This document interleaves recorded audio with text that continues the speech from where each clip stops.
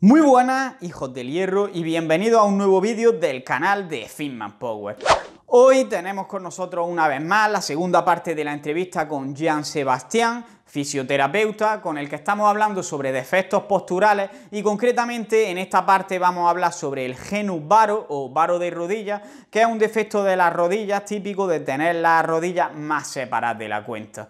Eh, en este caso vamos a hablar únicamente sobre cuáles son sus causas, sus consecuencias, cómo detectarlo, etcétera. Y en el siguiente vídeo vamos a hablar sobre ejercicios específicos que podemos hacer en el gimnasio con el objetivo de corregir este problema. Considero que es más adecuado separarlo en dos vídeos porque habrá gente que únicamente quiera saber los ejercicios porque ya conozca el problema, así que mejor separarlo. Simplemente decís que como ya digo que es parte de una entrevista, pues podéis escucharla entera o reproducir todos los vídeos mediante los enlaces que voy a dejar tanto en las etiquetas como en la descripción del vídeo. Y sin más preámbulos, dentro vídeo.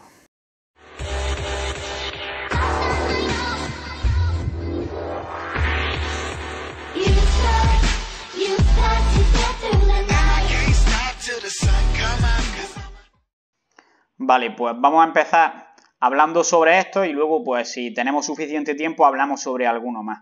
Entonces, tengo aquí una estructura preparada para que podamos, digamos, eh, todas las dudas que una persona tenga, eh, satisfacerlas y que le quede claro cualquier tema en relación con ello. Así que, ¿te parece bien si, por ejemplo, empezamos con el varo de rodilla? ¿El cuál, perdón? Por varo de rodilla, por ejemplo. Varo de rodilla, correcto. Vale, pues vamos a empezar y cuéntanos lo primero de todo, ¿Qué es el varo de rodilla? Porque mucha gente estará escuchando esto y no sabrá qué es. Varo de rodilla o genuvaro, del latín genu, significa rodilla y varo, que significa alejamiento. Es cuando tenemos las rodillas con una rotación externa, perdón, que ven alejadas. A hacer de cuenta que tenemos las piernas como dos paréntesis, en vez de estar completamente derechas, vemos que las rodillas se van hacia los lados, hacia los bordes externos. Eso es el genovaro o el varo de rodilla. el varo de rodilla es necesario. Digamos que esto es lo, que decíamos que es común en los bebés, más que nada porque llevan los pañales, por la distribución de la grasa, al final tienden a andar de esta forma, ¿no? Al principio. Exactamente. Aquí en Colombia, aquí en Colombia le decimos garetos, gareticos. Normalmente es muy común en los, en los hombres, en los hombres, que pase esto. Y sí, es un problema muy común pero no porque sea común debe ser algo normal. Claro. Bueno, ¿y cuáles son, digamos, eh, bueno, lo primero, ¿existen diferentes tipos o grados de, este defecto? Sí, claro, dependiendo qué tan lejos estén las rodillas de entre sí, pues más peligroso va a ser que entre más cerca estén. Digamos, que ese, digamos que ese es el plano de donde deberían estar las rodillas, entre más alejados estén de ese plano, no sé si ahí se alcanza a ver bien. ¿sí? Sí, sí. Más alejadas de ese plano, pues más peligroso va a ser porque va, va a ser más del compensatorio con otros músculos que no vayan a hacer el movimiento y va a afectar más la articulación de la rodilla como tal. Vale, entonces digamos que es preocupante a partir de un cierto nivel, ¿no? Si no... Debería ser, debería ser preocupante siempre. Digamos que es más fácil de corregir entre, entre más cerca esté a ese plano, a ese plano vertical que debería estar. Siempre debería intentarse corregir. No quiere decir que una persona que lo tenga más cerquita, que una persona que lo tenga más lejos, pues va a estar más sana, no. Pero digamos que la que está más lejos es como tiene como un ultimato, por decirlo así, pero debería siempre dársele prioridad a este problema, pienso yo. Claro, porque si no va a ir acrecentándose poco a poco y al final va a ser más grave.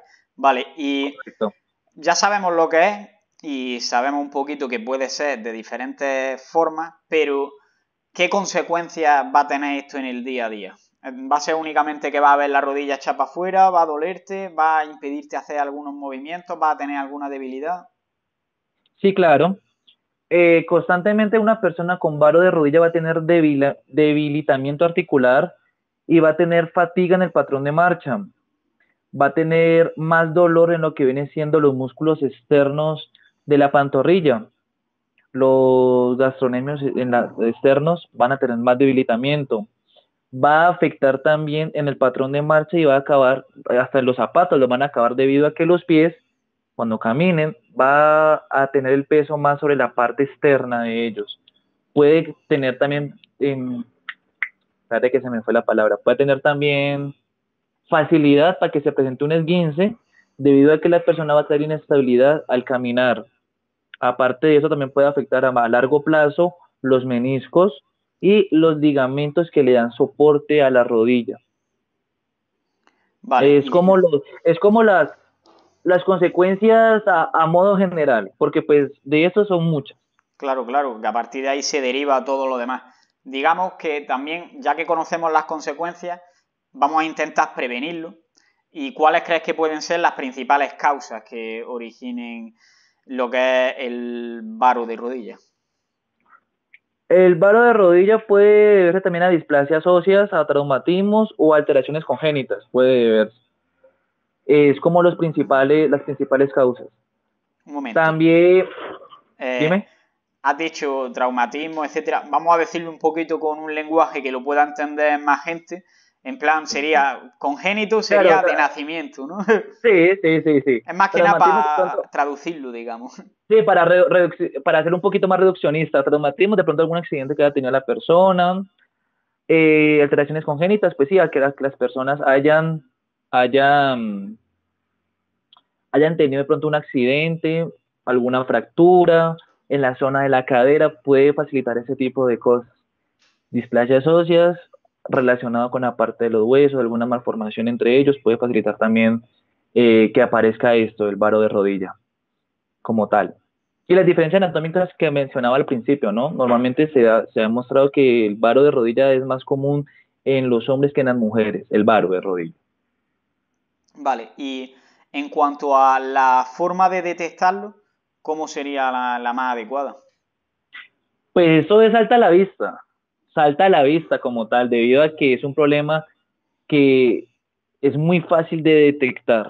Las personas con meramente pararse derechos, se va a notar si la rodilla va hacia afuera o hacia adentro. Y vas a, vas a ver que cuando la persona se para hay una gran distancia entre pantorrilla y pantorrilla. Va a haber un hueco como tal. Una persona sana no lo tendría. Es más, una persona sana podría tener un balón de fútbol parado, parándose derecho completamente entre las, entre las pantorrillas o entre las rodillas. Una persona con varo de rodilla puede que tiene que apretarlo, pero naturalmente no. ¿Por qué? Porque pues tendría como esa, ese huequito entre las, entre las piernas que le impediría. Que le impediría ese, ese consejo práctico me ha gustado bastante. Eh, eh, pues hasta aquí la segunda parte de la entrevista y nos vemos mañana en la tercera parte en la que vamos a hablar sobre los ejercicios que nos pueden ayudar a corregir este problema del varo de rodilla en el gimnasio. Así que si yo fuera vosotros estaría expectante mañana para ver estos ejercicios porque somos más de los que creemos los que tenemos este problema. Así que un saludo y a seguir creciendo. Escucha cómo suena. Voz imposible va a llegar ya. Nadie me va a frenar. Ahora soy yo el que se va a levantar. Escucha cómo suena.